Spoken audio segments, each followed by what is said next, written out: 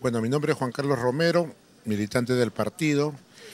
El respaldo es total y es consecuente al compañero Carlos Tello, ya que él fue elegido democráticamente en una convención.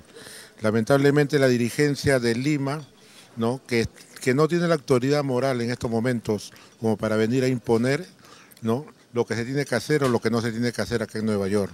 Creo que nosotros como apristas no podemos dejarnos pisotear y mucho menos tratarnos de que nos amedrenten con resoluciones nefastas que solamente hacen agudizar más la crisis que vive la Prisma en Nueva York.